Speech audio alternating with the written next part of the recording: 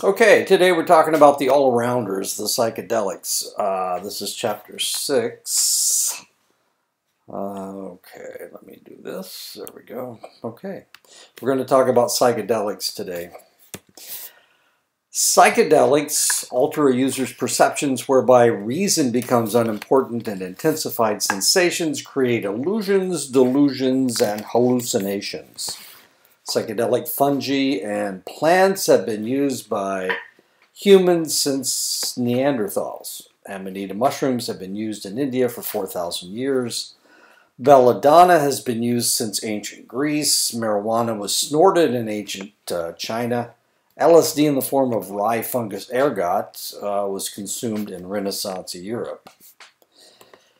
Psychedelics are readily used today in several forms and have waxed and waned in their popularity over the years. And of course, I've been I'm 70 years old, so I can remember all of these uh, all of these things. And not only that, I was in the military and I worked in medicine for 30 years. And one of my jobs when I was in the military was was testing people for drugs. As much fun as that was. Uh, MDMA, 2.3% uh, of high school seniors used it in 2000. By 2003, MDMA use was down to 1.3%. Rave drugs were real popular. Um, the problem with rave drugs is that they really uh, destroy the uh, your serotonergic uh, cells in your brain, so you have a hard time being happy. LSD, about 4% of high school seniors used it in 1995. By 2006, not so popular anymore, 0.6% used it. Marijuana, back in 1979, 37.4% of high school seniors used it uh, that year. Uh, by 1992, the, the percentage was down to 11.9%. By 1999, it had uh, more than doubled at 23.9%. Uh, by 2006, the percentage had gone down to 18.3%. With legalization today uh, of marijuana, 23% of uh, high school seniors admit that they use it uh, monthly, and 36% have used it this year. Marijuana is used uh, the most among uh, whites. Uh, marijuana is used the least among blacks. Hispanic use it somewhere between these other two groups. Psychedelics come in five chemical configurations indoles, uh, phenylalkylamines, uh, anticholinergics, cannabinoids, and those in a class by themselves. The indoles include LSD and psilocybin mushrooms, uh, phenylalkylamines, uh, peyote and MDMA, uh, anticholinergics, belladonna and datura. The cannabinoids, of course, that's marijuana. And then ketamine, PCPs, salvia divinorum, and dextromethorphan are a class unto themselves. The effects of psychedelics is determined by the toxicity of the substance, the amount used, uh, the user's experience with the drugs, the emotional makeup of the user, the mood and the mental state at the time of use, uh, the pre-existing mental illnesses, and the surroundings in which the drug is taken.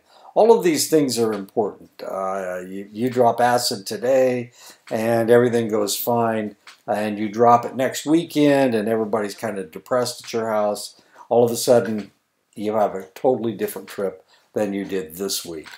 Uh, why? Because of all of these. Uh, the effect of the uh, of the psychedelic has to do with uh, with with all of these different factors. Most hallucinogens stimulate the sympathetic nervous system, which results in a, a, rise in pulse and blood pressure, sweating, palpitations, and unfortunately nausea. Psychedelics interfere with select neurotransmitters. There's a lot of them. Dopamine, norepinephrine, acetylcholine, anandamide, glutamate, alpha-sycosin, but especially serotonin.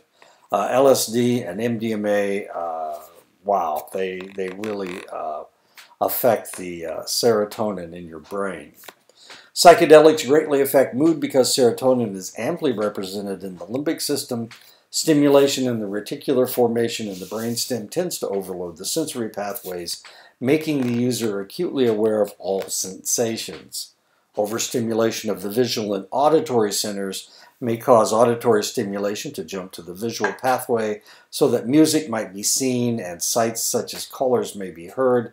Uh, this crossover of sensations is referred to as synesthesia, and this is very common with psychedelics. An illusion is an, uh, a mistaken perception of an external stimuli. LSD and most psychedelics cause illusions. A delusion is a mistaken idea or belief that cannot be swayed or reasoned by reason or other contradictory evidence. LSD and most psychedelics cause delusions. A hallucination is a sensory uh, experience that does not come from external stimuli, but is perceived as coming from an external stimuli. Uh, mescaline, psilocybin, and PCP cause hallucinations. LSD, psilocybin mushrooms, ibogaine, morning glory seeds, dimethyltryptamine, uh, foxy, AMT, and uh, ayahuasca uh, are the indole uh, psychedelics. These substances create mental interaction by inhabiting the serotonin receptor sites, especially the 5-HT2A sites. Uh, this affects sleep, mood, anxiety level, and can form hallucinations and delusions. LSD or lysergic acid diethylamide is also known as sacrament, acid blotter, barrels, orange sunshine, illusion, and window panes. LSD is a semi-synthetic uh, chemical compound found in the ergot fungus, uh, found in some cereal grains, but especially it's found in rye. This substance was first isolated from the ergot fungus in 1938 and it was synthesized. LSD failed as a psychological enhancement substance in psychotherapy and as a treatment for alcoholism. However, there are uh, instances, there are cases where individuals were used LSD and it actually solved, uh, it actually cured their uh, mental illness. Uh, a famous example of that would be Cary Grant. Cary Grant Cary Grant, uh, if you know anything about Cary Grant, very handsome uh, man. He uh, didn't think he was handsome. He didn't think that he was a good actor. Uh, so he was clinically depressed for most of his acting career. And then in the 1960s, they gave him LSD and it cured him of his chronic depression. It was purchased by the CIA, and experimented with for its use as a truth drug or a mind uh, control drug in a program referred to as MK Ultra, and it failed. It failed miserably. One of the CIA's researchers was Harvard professor Timothy Leary. Uh, Leary discovered its psychedelic properties by accident. He splashed some in his eye, and then he then he experimented on purpose after that. Uh, it was Leary who gave LSD to the rest of the world. He decided this is too good to be true. Uh, everybody needs to uh, needs to try this stuff. Uh, so he actually smuggled it out of the Harvard uh, laboratory and started distributing it on the streets. LSD was made illegal in 1966, and it was mainly made illegal uh, because of all the deaths that occurred because of it. LSD doesn't, you can't overdose in LSD. You can drink a whole bucket of it and not and uh, not overdose. But uh, what was happening, uh, people were hallucinating uh, and they were committing suicide, accidental suicide. And this happened enough uh, to the extent that they decided that they would make it illegal. LSD is easily manufactured, though it has mostly come from the San Francisco Bay Area of Northern California. It takes a very small amount of LSD to produce a reaction. Uh, the entire U.S. uses less than 11 pounds of LSD in any given year. The chemical is usually dissolved in alcohol and placed on blotter paper for consumption. Uh, 10 to 50 micrograms are the usual dosage on the blotter paper, and that ain't very much at all. The popularity of LSD has waxed and waned. It was popular in the 1960s and 1970s as, as hippie drugs uh, to get in touch. The drug became less popular in the 1980s, but made a comeback as a rave drug or supplement to ecstasy in the 1990s. A drug raid in Kansas virtually took the drug off the street and made it too expensive for ravers to afford in the 1990s. Uh, what do I know about this? Well, I grew up in the 60s and I was in the military in the 70s and the 80s. Uh, so yeah, I was uh, came in contact with this a lot. Um, I came in contact with this a lot in the emergency room, mostly. Uh, the strange thing was that uh, we could test all other drugs, but we couldn't test for LSD because it's such a tiny amount uh, that you can't find it in the, the person's system. Uh, its popularity popularity today is with the same rave crowd for people who want to experience a high. LSD is used in such small amounts that it is not normally detected by standard drug testing. You have to look for it specifically. LSD is remarkably, remarkably potent, creating a reaction with 25 one millionth of a gram. Uh, it causes spaciness, decreased perception of time, uh, a mild euphoria. Its effects appear 15 to 60 minutes after ingestion. Uh, the effects peak at two to four hours. The effects last six to eight hours. Uh, user returns to their normal state after 10 to 12 hours. Withdrawal from LSD is more a mental state than a physical dependence. They may experience a downer. And uh, this is all the things you can overdose on. Heroin is number one, uh, nutmeg is number two, datura is number three. Uh, it's tied with GHB and isobutyl uh, nitrite, uh, dextromethorphan, alcohol. And the rest of these uh, people very rarely overdose on. Marijuana, LSD, and psilocybin, almost impossible to overdose on those. Nitrous oxide, of course. so as you can see, alcohol's right here, and, and people do poison themselves with alcohol. But uh, as you can see, uh, these these drugs are far more dangerous than, uh, than these drugs. And marijuana, LSD, and psilocybin, you might as well forget it. You can't you can't ingest that much. LSD effects include a rise in blood pressure and heart rate, a rise in body temperature, dizziness, dilated pupils, sweating, after image light trails known as the trailing phenomena, uh, sensory distortions, seeing sounds, feeling smells, hearing colors, uh, dreaminess, depersonalization, altered mood, and impaired concentration and motivation. LSD activates the locus ceruleus, which causes the release of extra amounts of norepinephrine. The extra norepinephrine enhances alertness, causing the illusion of heightened awareness and introspection. LSD trippers often lose their ability to express themselves verbally. Uh, the greatest danger is the impaired reasoning that the individual displays and the loss of judgment. The user can suffer acute anxiety reactions to LSD known as bad trips. This is especially common for new users who aren't aware of the intensity of the euphoria or the possibility of panic that can be induced by the drug uh, causes you to feel depersonalization, uh, acute anxiety, paranoia, fear of loss of control, delusions of persecution, and feelings of grandeur. Suicide by mistake is not uncommon, as I said before, and that's one of the reasons. It's one of the big reasons why they uh, made uh, marijuana or marijuana, why they made LSD illegal in 1966. LSD can be dangerous for people with pre-existing mental conditions or mental instability Using LSD can aggravate the already existing conditions leading to more severe mental disturbances. Use of LSD has also led to experiencing their mental, their mental illnesses at a younger age. LSD can lead to relapse for an individual recovering from a psychotic episode or major depression. Individuals without mental illnesses might be thrown into temporary but prolonged psychotic reactions or severe depression that requires treatment. Some individuals have been known to experience prolonged trips that can be emotionally crippling and last for years. And this is one of the reasons why LSD has waxed and waned in its popularity.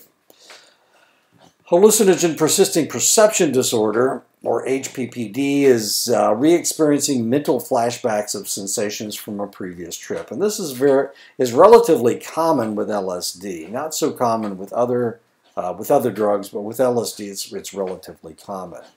It is usually from a bad trip, uh, so it's not like you're you're uh, reliving your uh, your glory of, uh, of a good trip. It's usually a bad trip. HPPD can occur months or even years after the last use of, LSD. The flashbacks recreate the original experience, and they be, can be triggered by stress, by use of another psychoactive substance, or even something as uh, normally positive as exercise. HPPD seems to have a strong hereditary component and results in anxiety and panic. Some people suffer from long-term intermittent or continuous HPPD where their flashbacks occur on a chronic basis.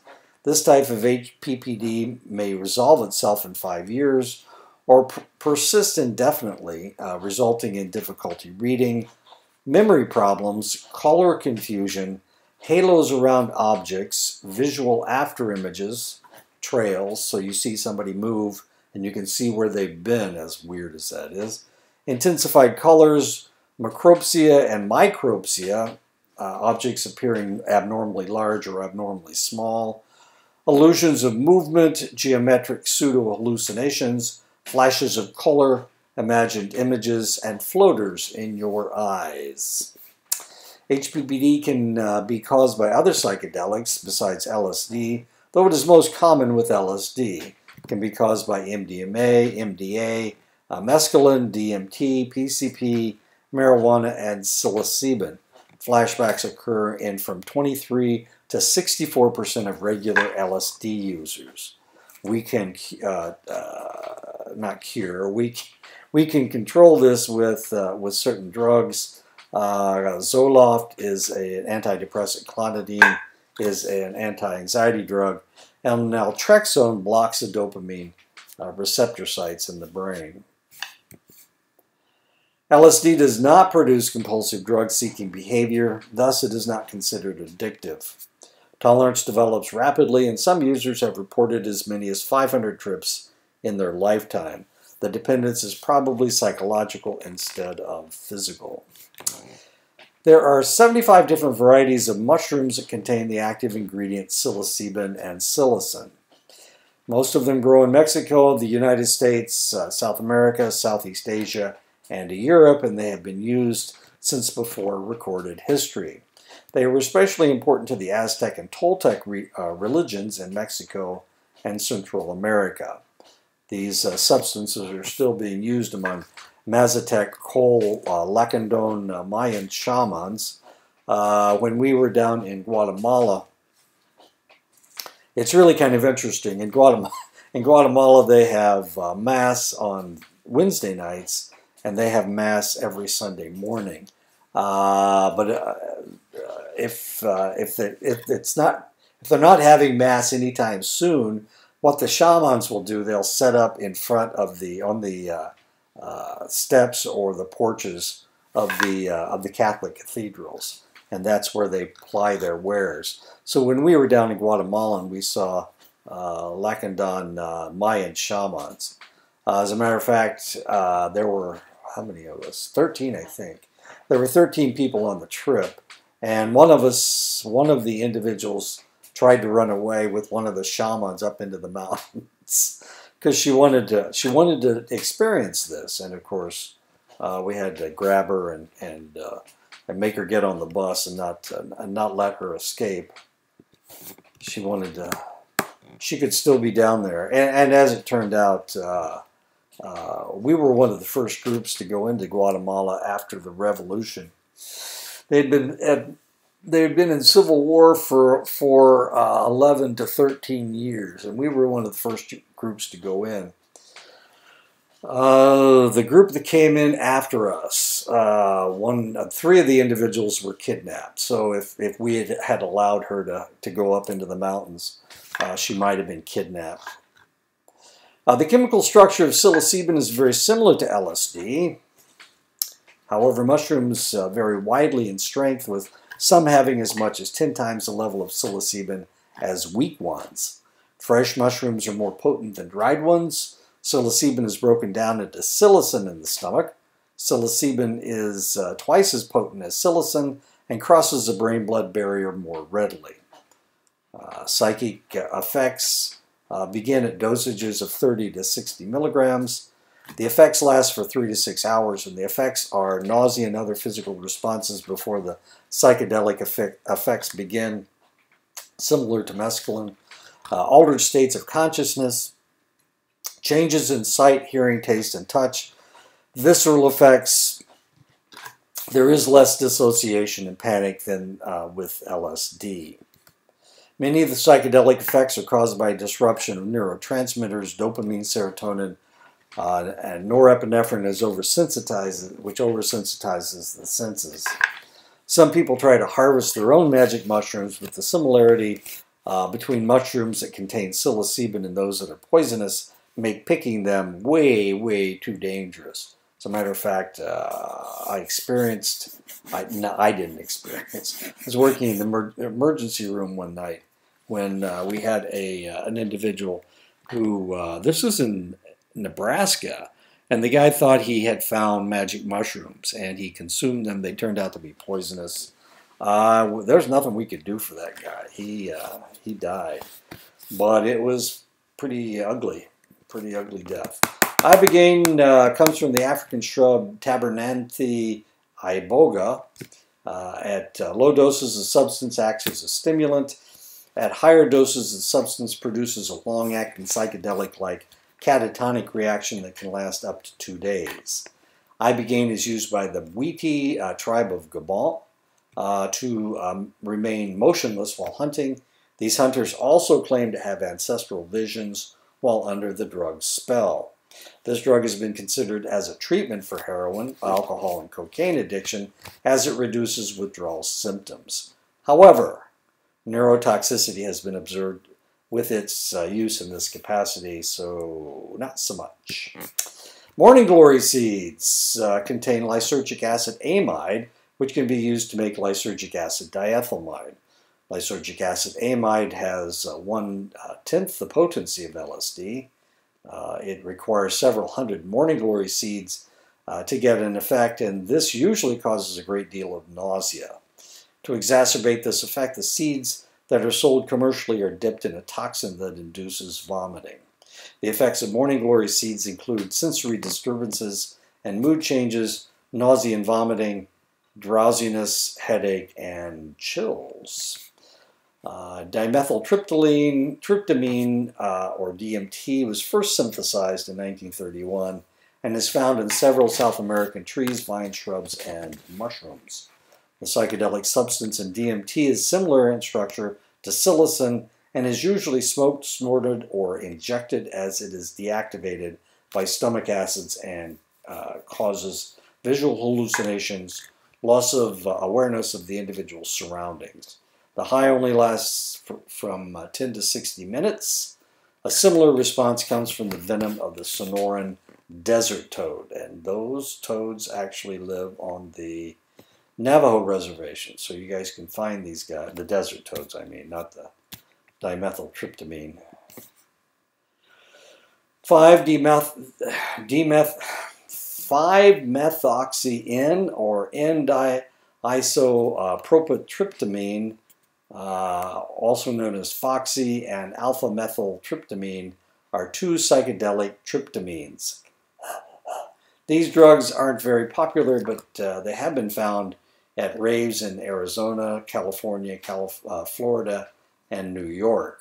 The effects of the tryptamines are similar to other rave drugs, euphoria, empathy, visual and auditory disturbances, formication, itching to the point where you scratch all your skin off, uh, paranoia, emotional distress, nausea and vomiting, and diarrhea. Uh, we had a person that uh, took one of the Foxy, I think. They, they took some Foxy. Anyway, they came in and they had scratched all the skin off their arms, both arms, and they were bleeding like crazy. And they didn't care. It's really kind of kind of curious. The effects from uh, small doses will last three to six hours, and heavier doses 12 to 24 hours. Ayahuasca uh, yagé is a psychedelic drink made from the bark, leaves, and vines of the Banisteriopsis species of the Amazon jungle. This drink causes intense vomiting and diarrhea before it deposits the drinker in a dreamlike state for about 10 hours. Select tribes of natives in Peru, Brazil, and Ecuador use the drug for divination, prophecy, sorcery, and medicinal purposes. Cults have sprung up in Brazil around the use of this substance. The active ingredient is indole alkaloid harmaline. Yeah, so let's go ahead and vomit and have the squirts for, and then we can go into a 10-hour dream state. This group of psychedelics are the phenyl, phenylalkylamines, uh, phenylalkylamines uh, are related to adrenaline and amphetamines, though their effects tend to last longer. The best known phenylalkylamine is psychedel uh, psychedelics are the peyotes and the, or mescaline. Mescaline is the active ingredient in the peyote, peyote cactus and the San Pedro cactus. The use of these cacti for religious insights and rituals dates back four to 5,000 years among native tribes of Mexico, Central, and South America. In North America, 50 tribal groups are still using the drug for religious purposes in the, into the 20th century. In 1996, the Supreme Court ruled that peyote usage by Native American Church of North America was protected by the Constitution. Mescaline is found in small gray-green crowns of the peyote cactus. Uh, they can be used uh, dried or fresh. The buttons can either be eaten or boiled in a tea. The mescaline is bitter and nauseating and may take as many as seven to eight buttons to elicit a response. The effects last up to 12 hours and results in colorful visions and hallucinations. MDA, MDA and MDMA, uh, MDMA is ecstasy. Uh, both actually, both of these are known as uh, rave drugs. They were synthesized in. Uh, they were first synthesized in 1910.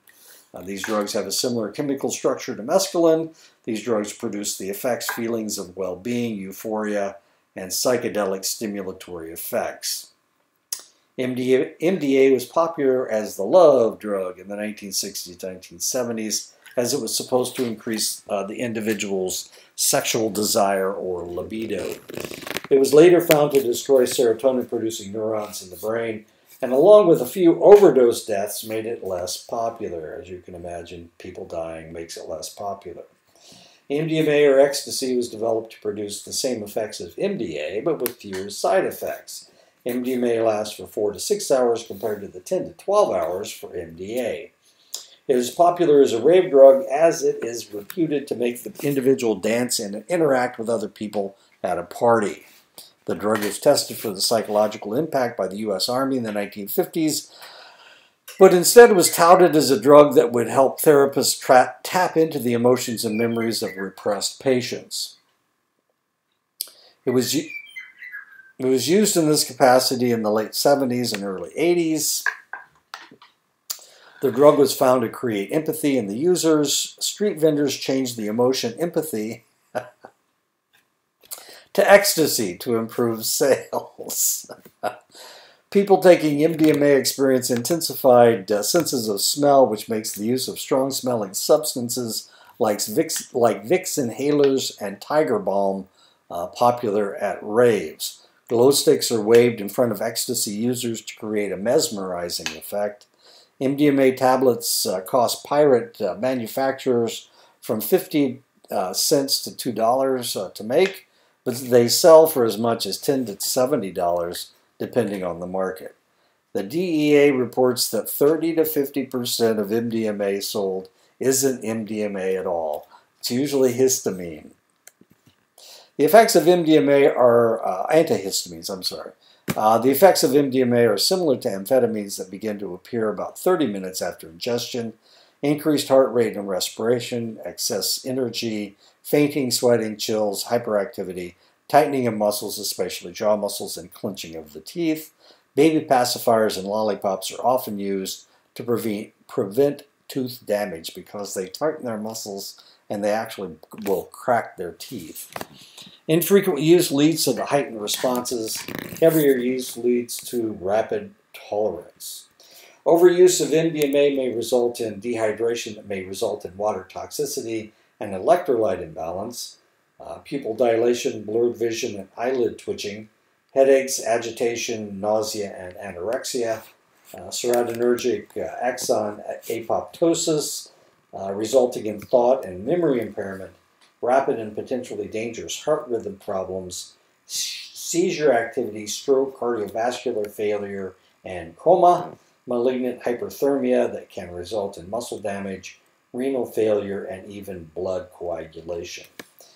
Hyperthermia, that's you're way too hot. Uh, so the raves that they have in Europe, what they'll do is they'll rent a um, they'll they'll rent a refrigerated building, and they will turn the air conditioning up uh, full blast, and then they will have the techno music, and people will come in and they will rave, and uh, they they'll keep the temperature in the 40s to 50s to keep these people from uh, from uh, dying because of their hyperthermia. They're too hot.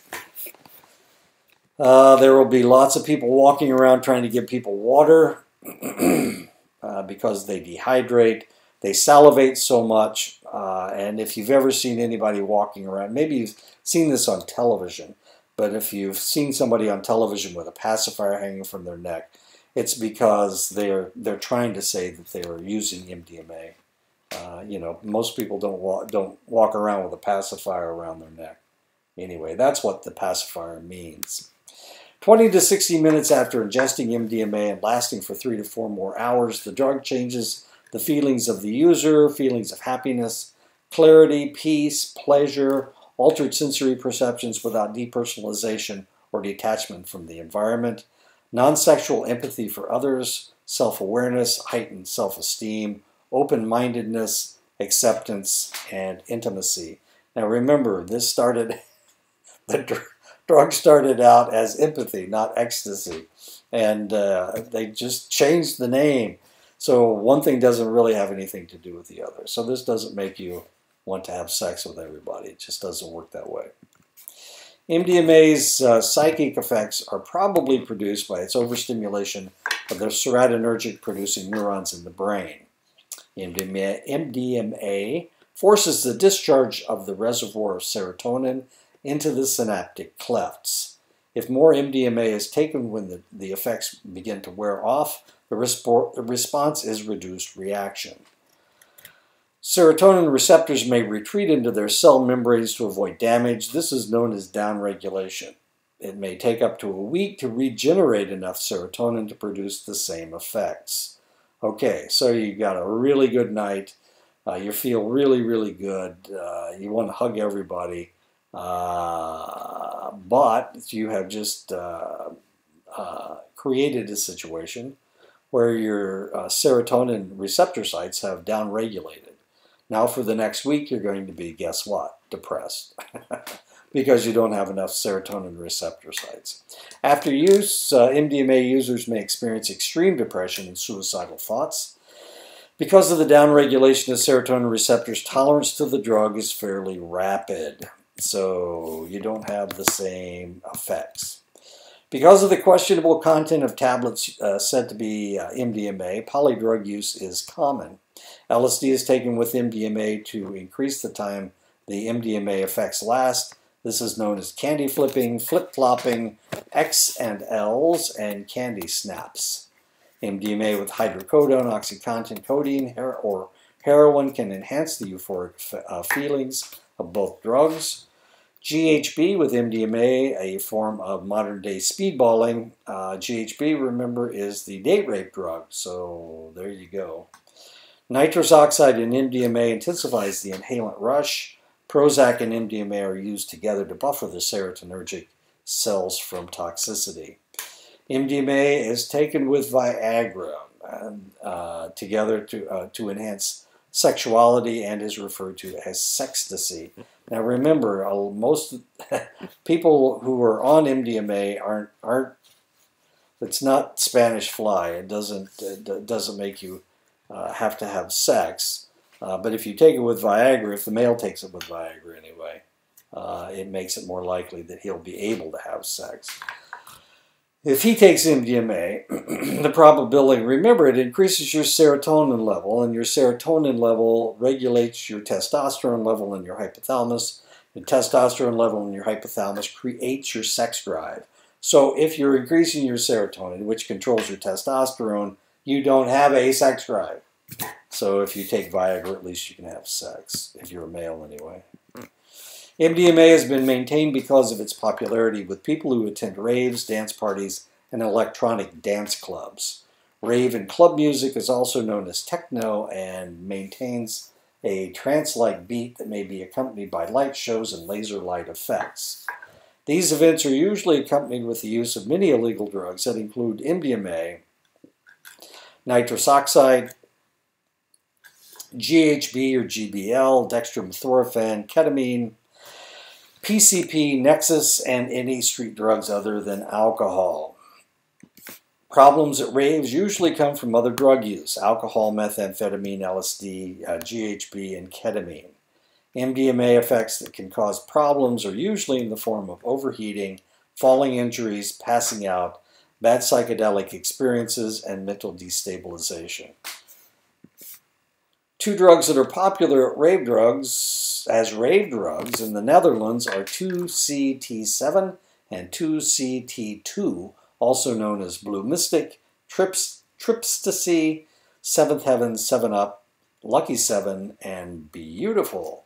These drugs are psych, uh, psychostimulants and cause the following effects induced delirium, heightened sensitivity, increased awareness, nausea and vomiting, dangerous cardiovascular responses. Nexus is the trade name for 2CB or 4-bromo-2,5-dimethoxyphenethylamine. Uh, it creates mild stimulation at low doses and intense psychedelic experiences at high doses.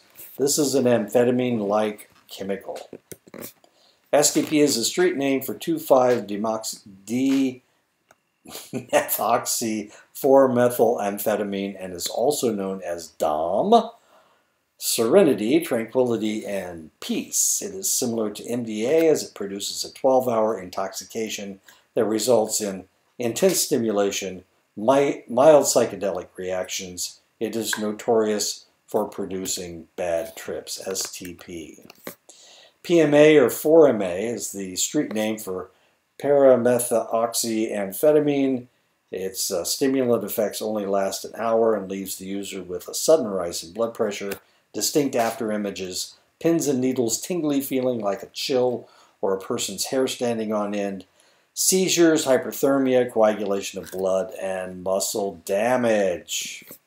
Bromo dragonfly is also known as bee fly or fly. It is a powerful hallucinogen that has a longer duration than any other hallucinogen, sometimes lasting for days.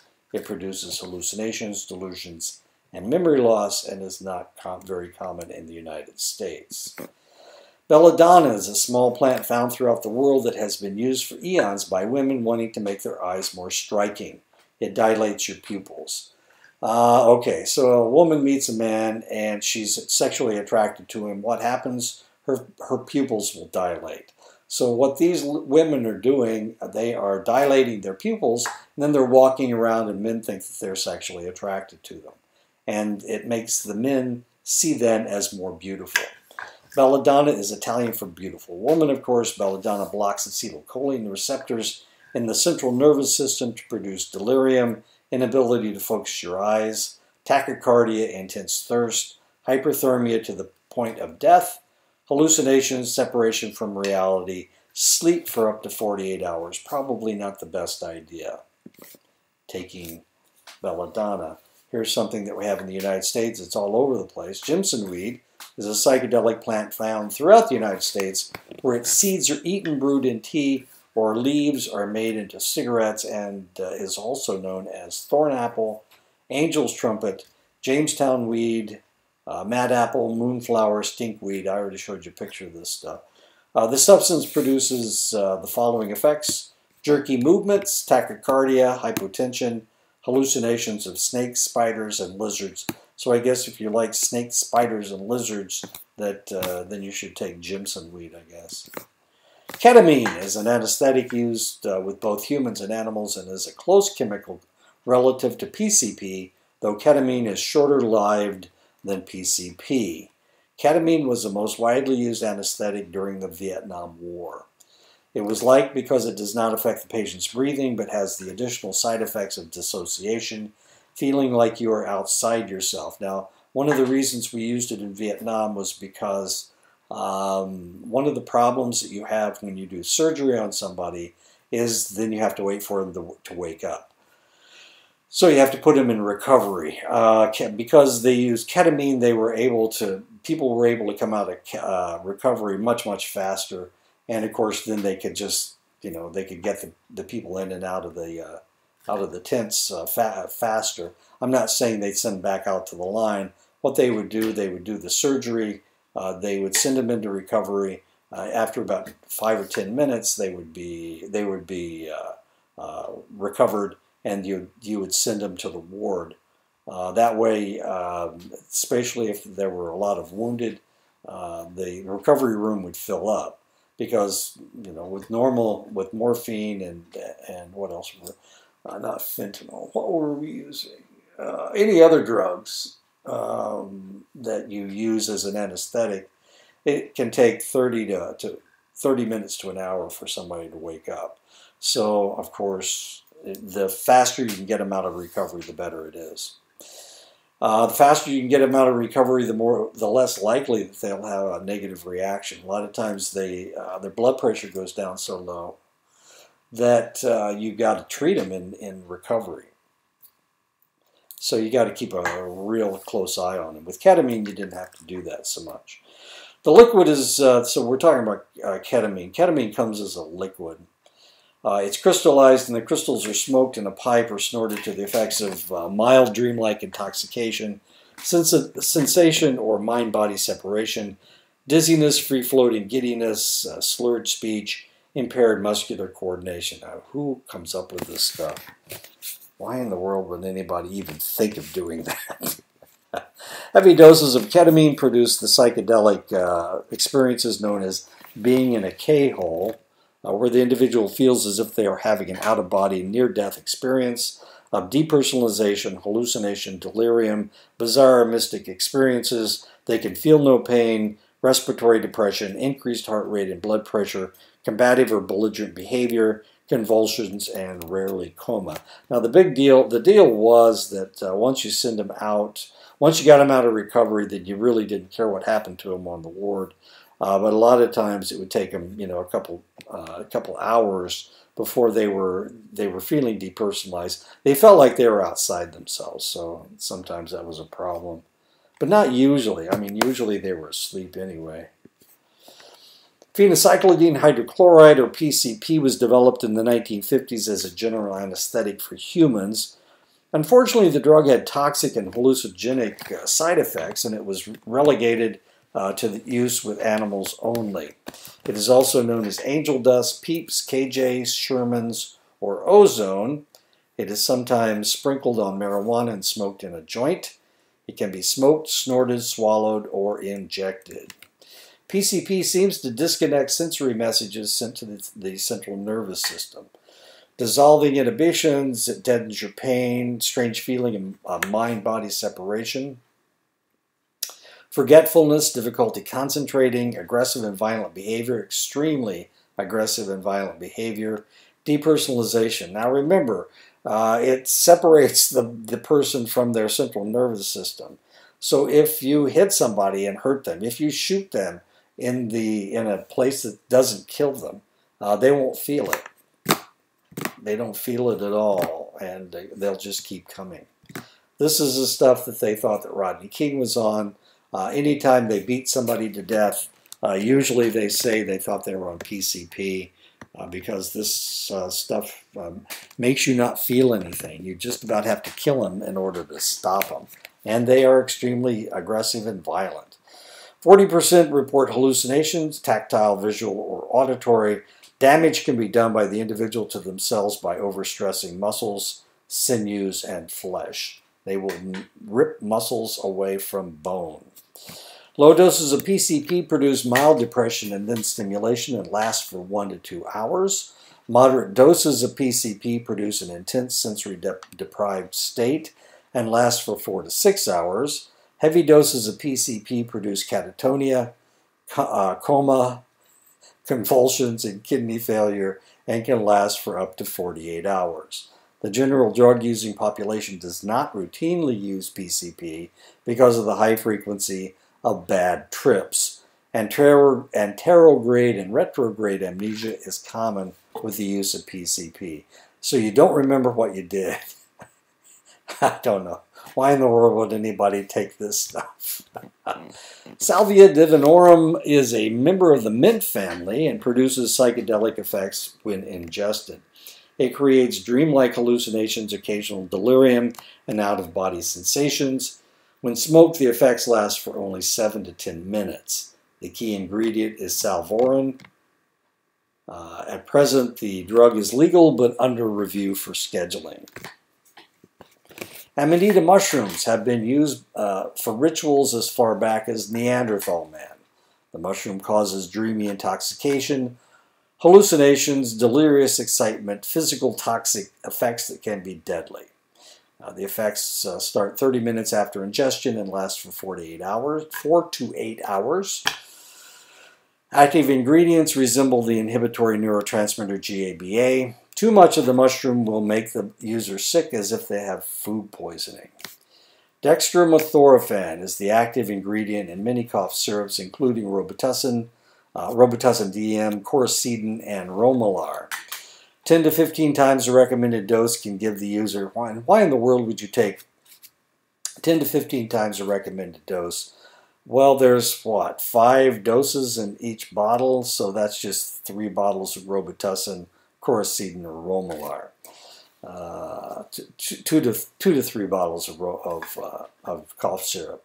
It causes euphoria, mind body separation, auditory and visual hallucinations, loss of coordination, dilated pupils, decreased orgasm, nausea and upset stomach, itching, itching rashes, fever, tachycardia, acute anxiety, and panic reactions.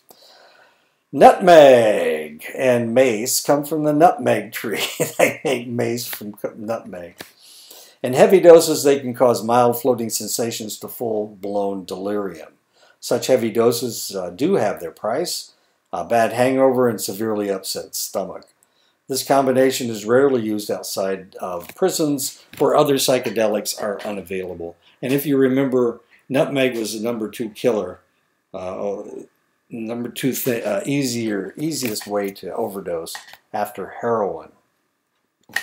Marijuana, cannabis, or hemp plants are used to make powerfully strong fibers for rope.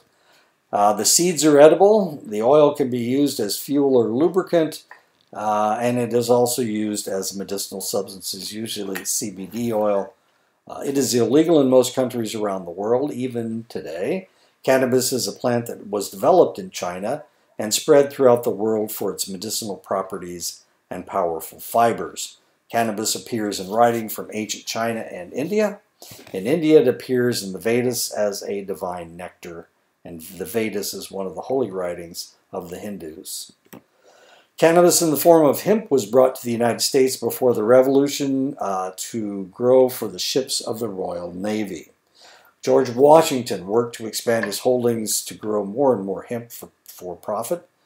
Uh, hemp wasn't used for its psychoactive effects until after World War I, when migrant workers from Mexico introduced smoking the wacky weed to other poor immigrant minority groups. The psychoactive properties of marijuana became popular during Prohibition when the still legal pot was smoked for its psychoactive effects by those who sought a new high. In 1937, marijuana was declared illegal. Hemp was legally grown during World War II, and the government even experimented with cannabis extracts to produce a truth serum. Hemp is legally grown in France. It didn't work, by the way. Uh, hemp is legally grown in France, Italy, uh, the Yugoslavian countries, uh, England, and Canada to make paper, textiles, and rope. Marijuana is legally used in the Netherlands in coffee shops. 160 million uh, people worldwide use some form of marijuana. Going into the 1960s, only 2% of people uh, in the United States had tried an illegal drug. This is a point of fact. It wasn't until the civil rights movement and the anti-war movement in the 1960s that marijuana became popular even a little bit. In 1979, 68 million Americans had tried marijuana and 23 million Americans used it on a monthly basis. Attempted control of the substance waxed and waned over the years, but a resurgence of marijuana prohibition in the 1990s led to a marked drop in its usage. By 1992, just over 7 million people reported using marijuana on a monthly basis. By 2005, the number, number of monthly marijuana users had doubled. In 2005, 3,200,000 uh, people used marijuana on a daily basis. And this is one of the reasons why it was legalized in select states around the uh, United States. Every year, 80,000 emergency room visits occur because of marijuana usage. This has actually gone up since its legalization. 44% of male adult arrestees test positive for marijuana.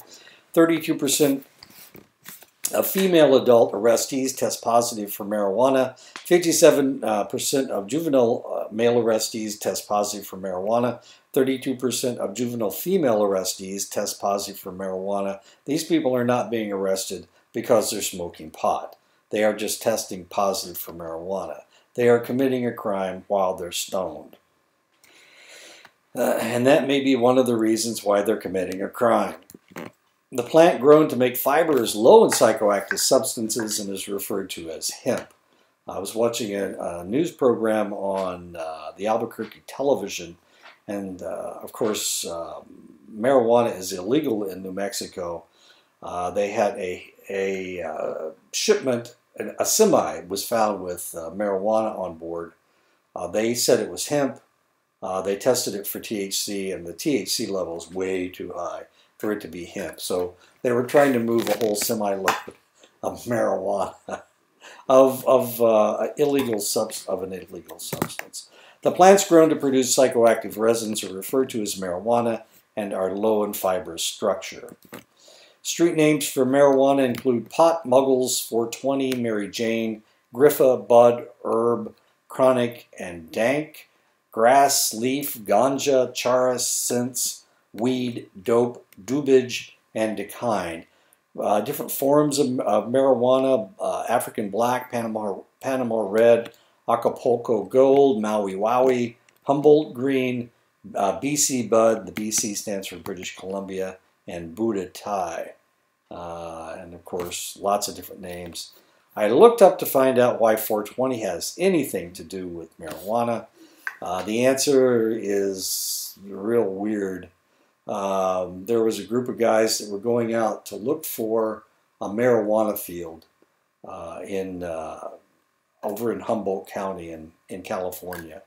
And they decided that they would meet after school at 4, 4.20 in the afternoon to look for this marijuana field. They never found the marijuana field, but that's where 420 comes from, as dumb as that is. Marijuana comes in three distinct species, but hundreds of different hybrids. Cannabis sativa is the most common species. Uh, it's grown in tropical, subtropical, and temperate regions. It grows 5 to 20 feet tall. And the damn stuff grows in my uh, fence row, and I have to pull it out every year. It's not. It's not. Uh, it doesn't have THC in it. It's. Uh, it's uh, the hemp stuff. Uh, it's called ditchweed in the Midwest because it Oh, during World War II, they were trans they transported uh, hemp to make rope for the military, and they transported it in on the railroad. And so it, uh, as it's bouncing along, the seeds are bouncing out, and they're getting in the ditch uh, beside the uh, beside the railroad. Uh, eventually, it's a weed, and it grows, and the seeds blow. Anyway, it's it's in the ditches of Nebraska and Iowa on Kansas. It's all over the place. It's a weed, but it's the hemp. It's not. It's not marijuana. Anyway, okay. Uh, it grows five to twenty feet tall. A plant grows from one to five pounds of buds and smokable leaves. Not the hemp plants, of course. Uh, cannabis uh, indica uh, grows in Southeast Asia. It's shorter and bushier plant and is generally stronger smelling. It is usually grown to make uh, produce hashish, Uh, Cannabis ruderalis is a thin, small plant and has very little THC and isn't really used for anything.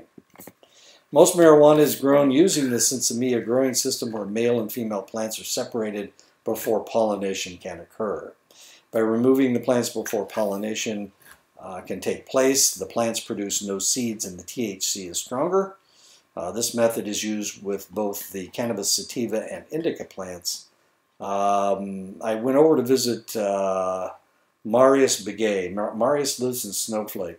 Right outside of Snowflake is a huge field uh, of marijuana uh, being grown for some purpose, uh, medicinal purposes, I think.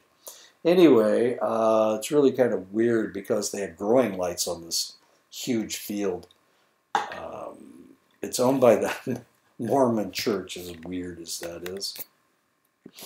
Dried marijuana leaves, buds, and flowers are crushed and rolled into cigarettes known as joints or blunts uh, if it's large enough. Uh, marijuana can be smoked in pipes. In India, marijuana is divided into three different strengths, deepening uh, depending, I'm sorry, on the part of the plant that is smoked. Bhang has the uh, lowest potency and uses the stems and leaves.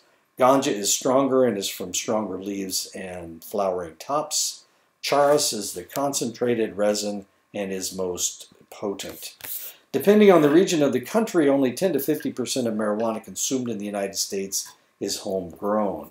Most of the marijuana being smoked is smuggled in from Mexico and is either grown in Mexico or Colombia.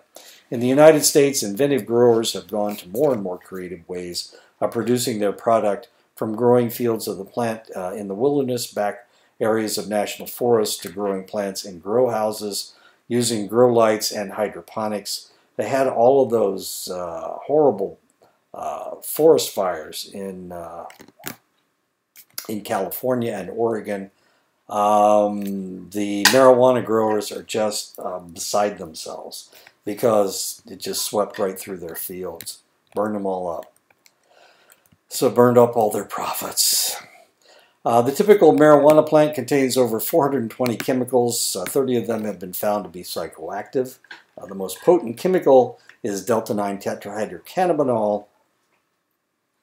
When ingested, the uh, psychoactive uh, chemicals in the marijuana are converted by the liver into 60 other metabolites, some of which are psychoactive as well. Only about 20% uh, of the THC in the joint is retained by the body, but the longer the smoke is held in the lungs, the more it's THC that is absorbed and the stronger the high.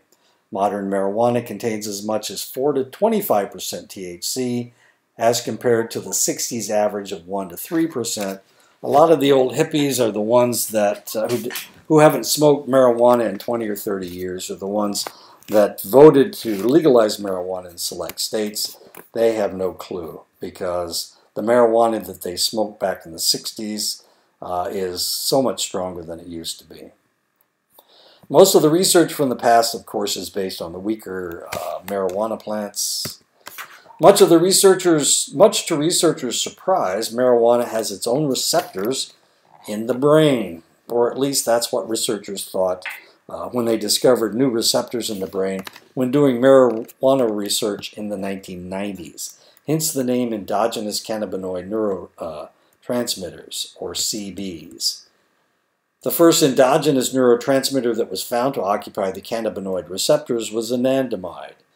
Uh, CB1 receptors are found mostly in the brain, in the hippocampus, where your memory takes place, in the amygdala, where emotion takes place, the basal ganglia, including the nucleus accumbens, uh, where organization takes place, and the cerebellum, where movement takes place.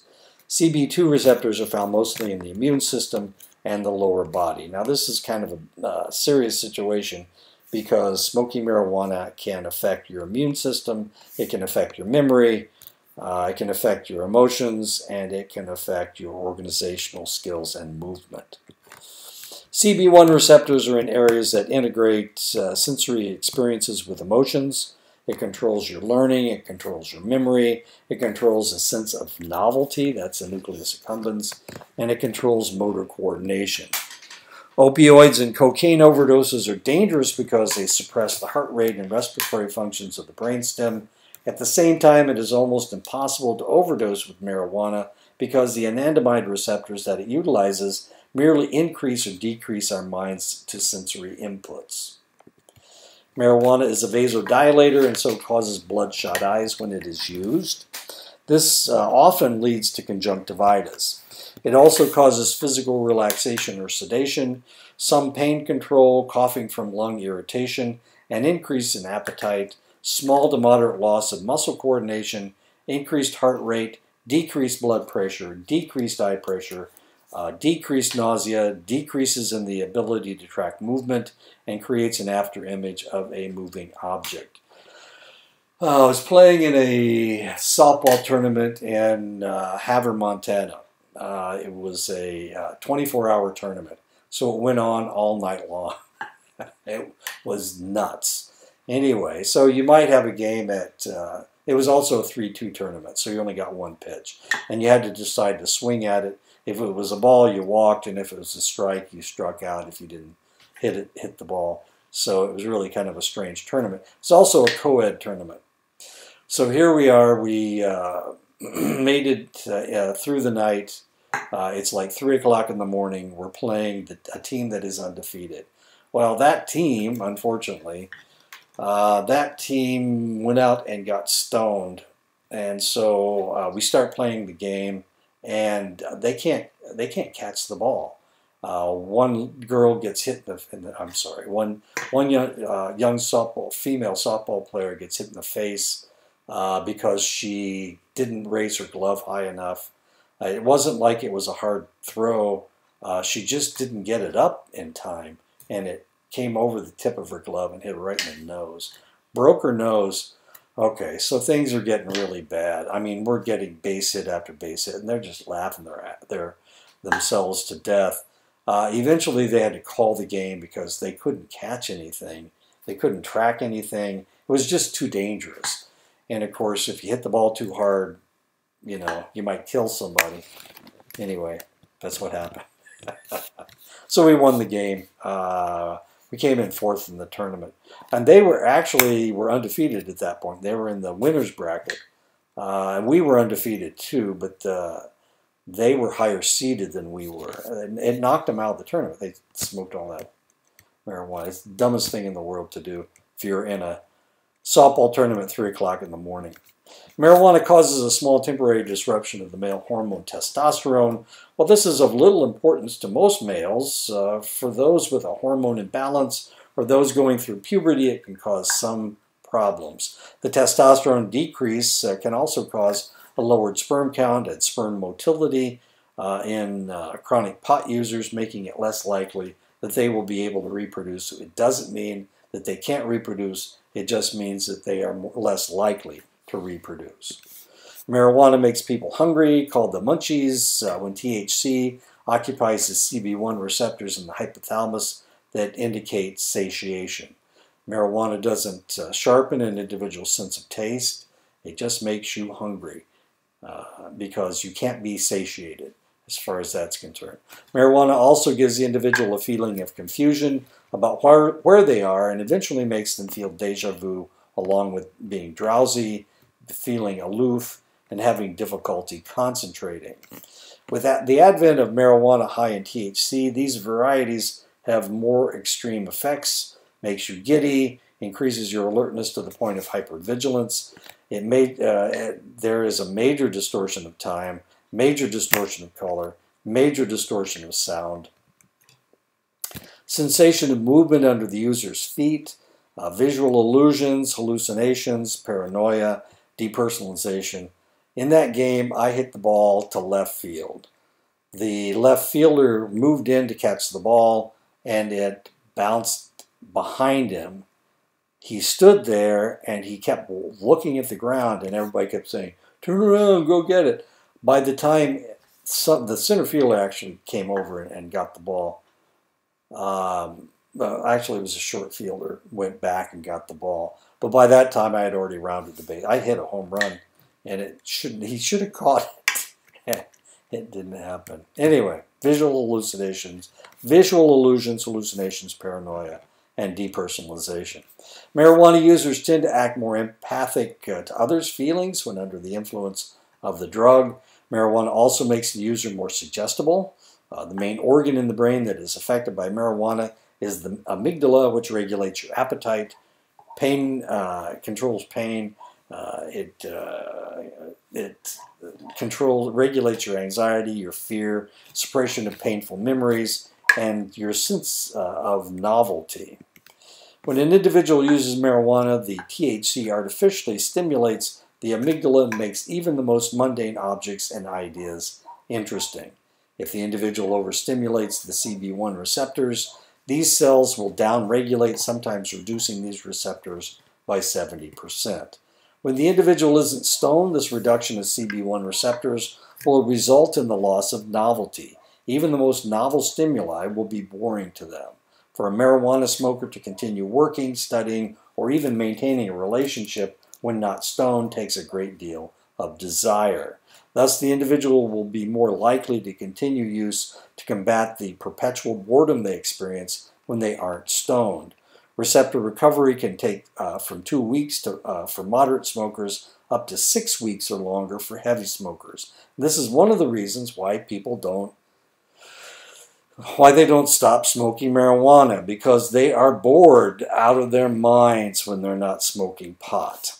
Short term, uh, they're bored. They no, nothing is interesting to them. Video games aren't interesting to them. Short-term memory is held uh, in the hippocampus immediate, for immediate use. If this information is needed, it will be held until it can be transferred to the long-term memory. Anandamide receptors in the hippocampus dictate how much memory is available for immediate use. Because THC occupies anandamide receptor sites, it limits the amount of hippocampal short-term memory. The user may lose significant chunks of their lives while using because of the memory impairment caused by the THC.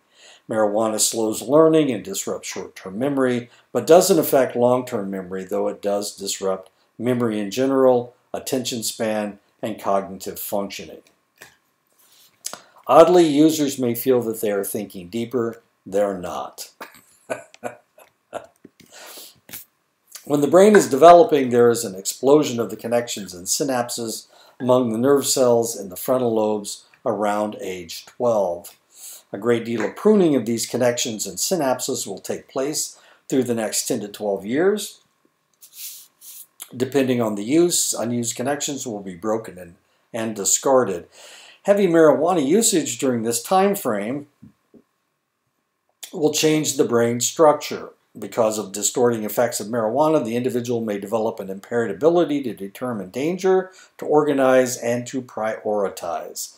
Marijuana and MDMA use, use is especially destructive for memory, something that you need to remember. Marijuana tends to give their user a distorted sense of time, and this is named, known as temporal uh, disintegration. While this effect may help with dull, repetitive jobs, for more complex jobs like studying, the individual may become easily bored and quit temporal disintegration is part of the most debilitating aspects of using marijuana along with impaired judgment and short-term memory loss. Multiple and interactive tasks can be impossible for these individuals. Distortion of time, impaired judgment, and short-term memory loss will be evident in the individual's behavior for up to seven days after use. By 28 days, the individual has returned to what passes for normal with these select individuals. Research into the effects of smoking marijuana on the respiratory system indicates that smoking four or five joints is as destructive on the mucous membranes and the lungs as smoking a pack of cigarettes. This is because marijuana isn't regulated as to its growth and refinement and is rarely filtered. Chronic use of marijuana can lead to chronic coughing and bronchitis. The most damage is done to those individuals who smoke both marijuana and cigarettes. Marijuana smokers have increased mucus secreting epithelial cells, but decreased cilia to expel the, the excess mucus. For those who smoke both cigarettes and joints, they lose all the cilia of their mucous membranes, meaning that they will have to cough to expel mucus.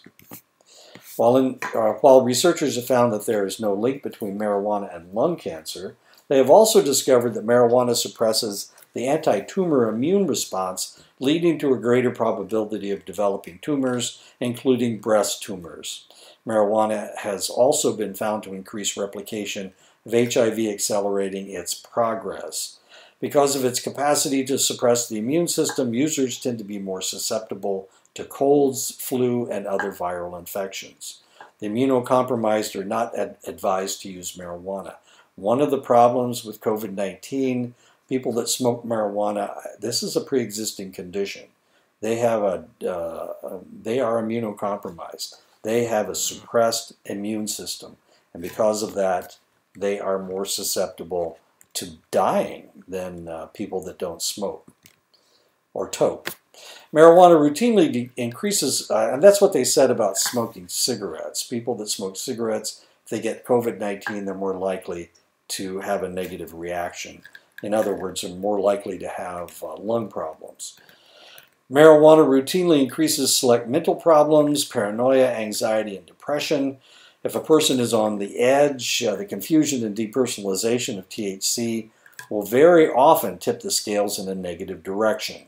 Individuals who maintain a paranoid mindset uh, while smoking marijuana might have exacerbated reactions with stronger blends or other drug mixtures. Tolerance to marijuana occurs very rapidly. Often new smokers will experience inverse tolerance, where they actually become more sensitive to the marijuana and have heightened sensations with less smoking. Marijuana's effects last for from four to six hours, but the substance may be detectable for up to 28 days and actually will stay in the body for up to three months. It is fat soluble and it stays in your fat. Because of the length of time it takes to rid the body of the substance, withdrawal from marijuana doesn't start until a longer period after abstinence.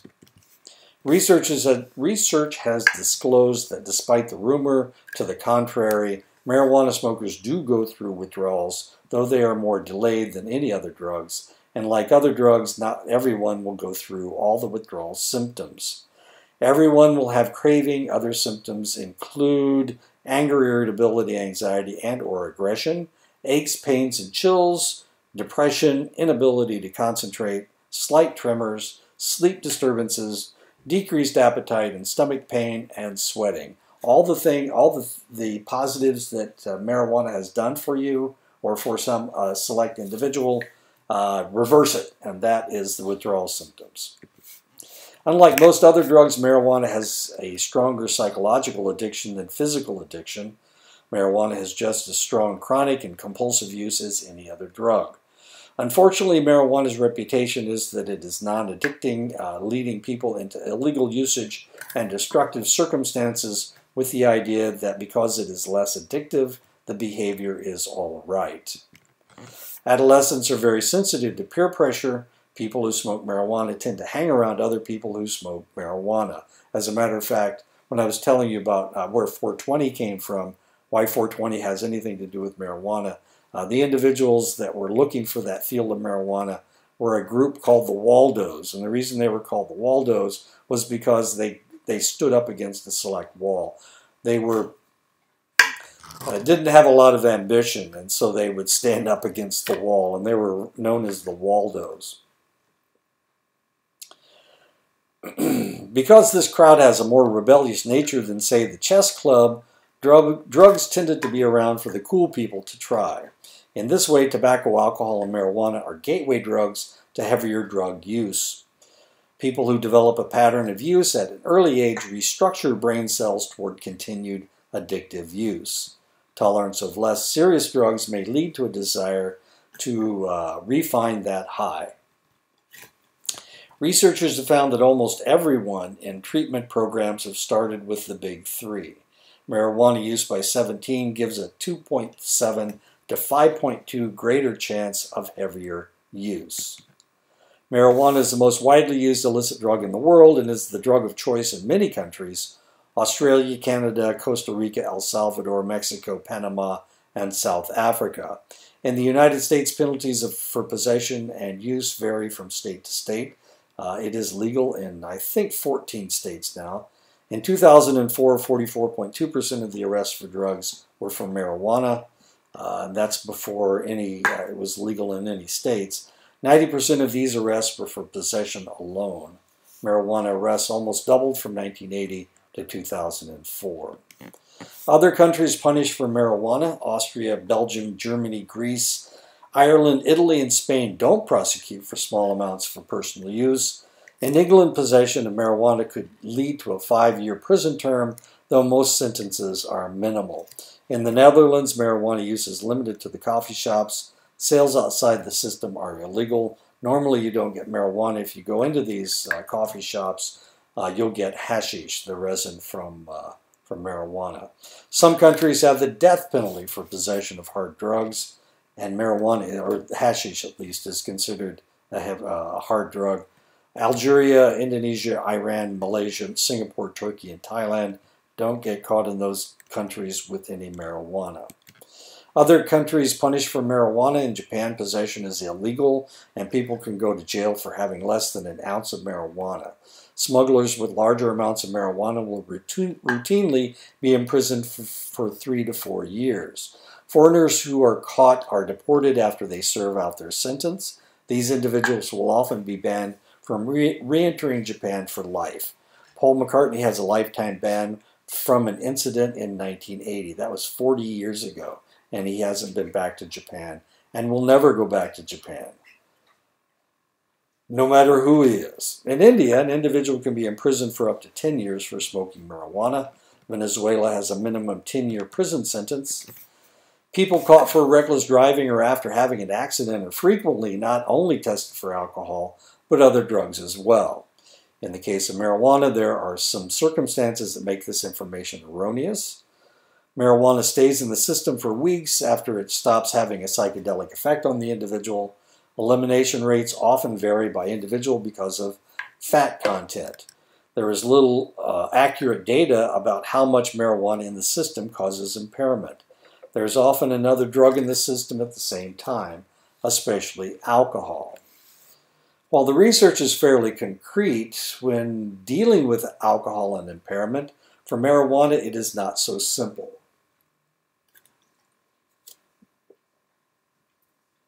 Statistics dealing with marijuana and traffic problems often involve polydrug use. 65% of heavy drinkers also use marijuana.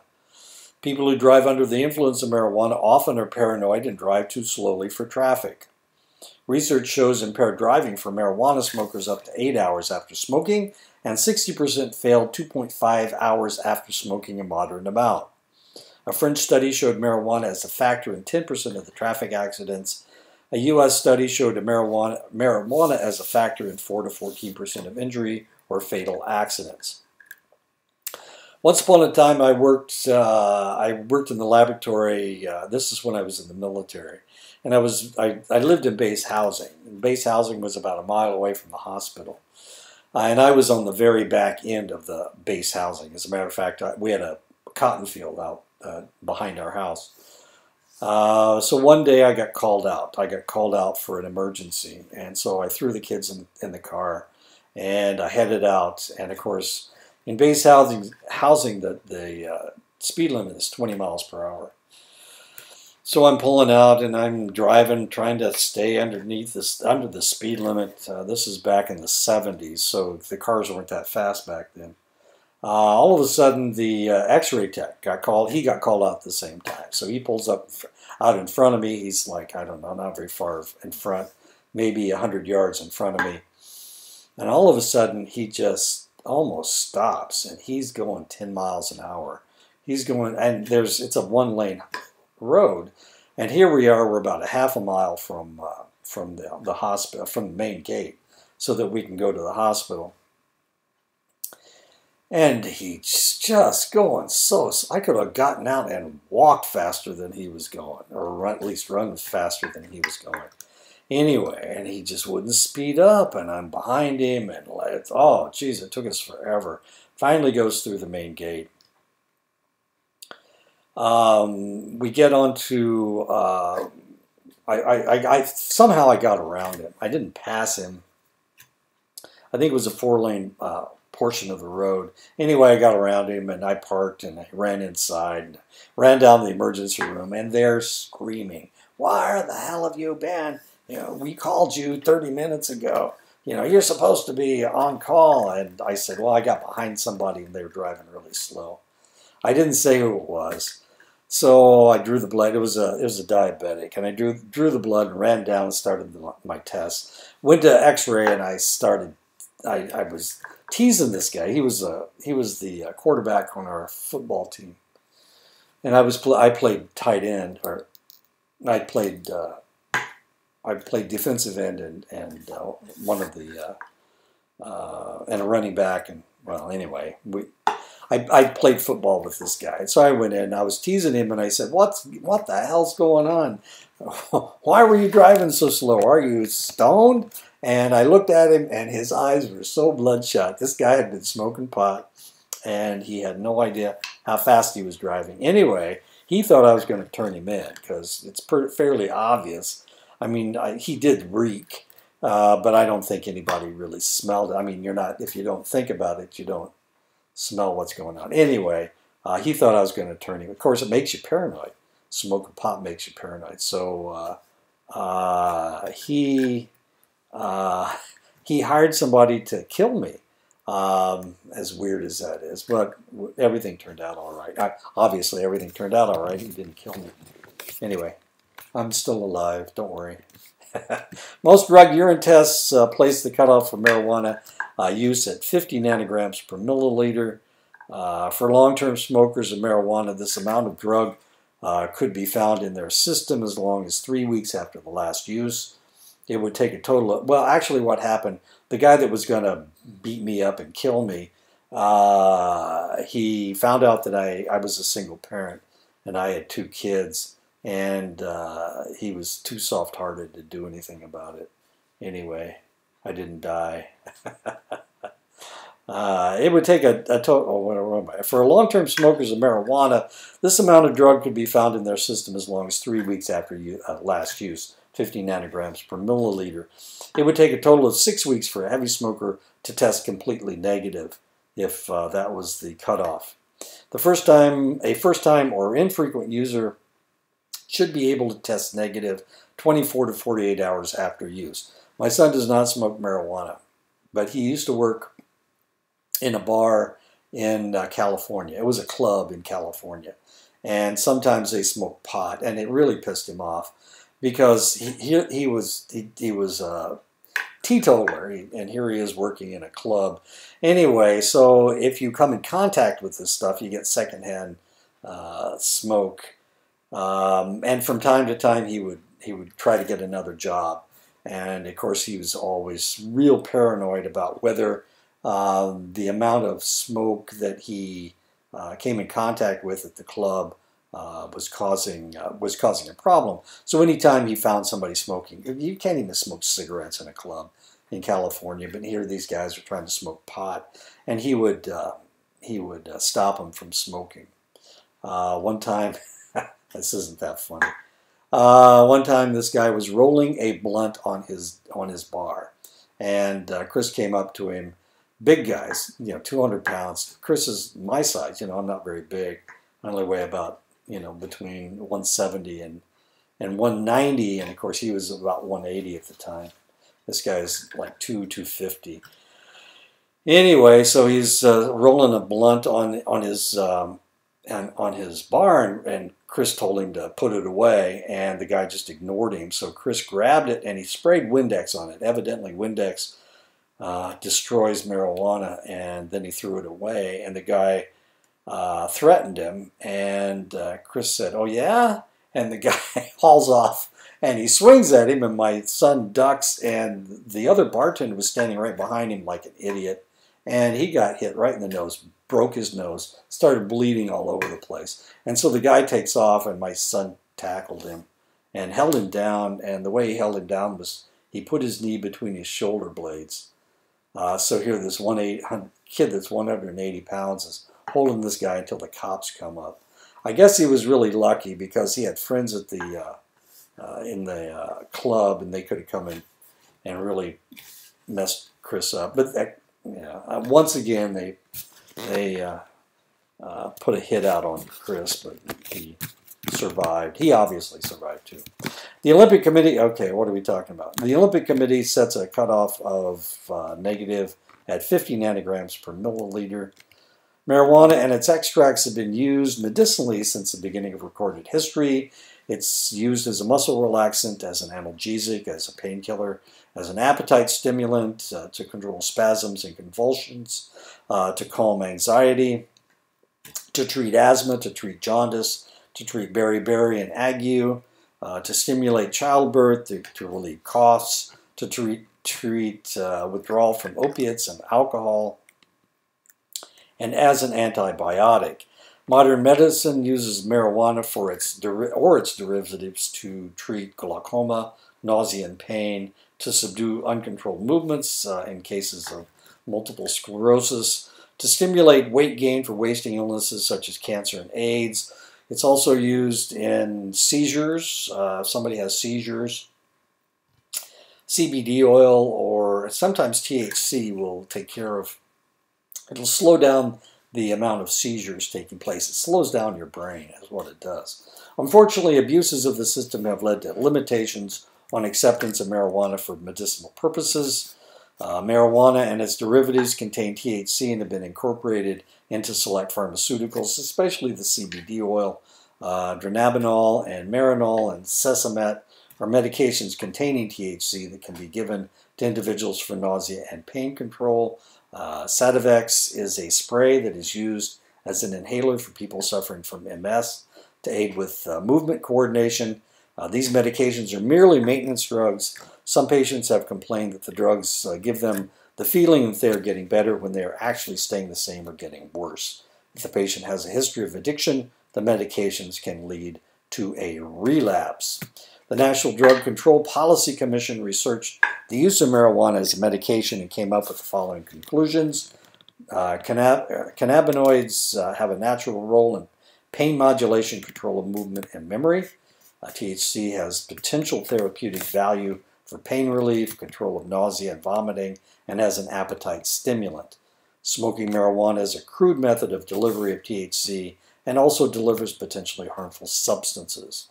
The psychological effects of can, uh, cannabinoids uh, include anxiety reduction, uh, sedation, and euphoria, and can be therapeutic.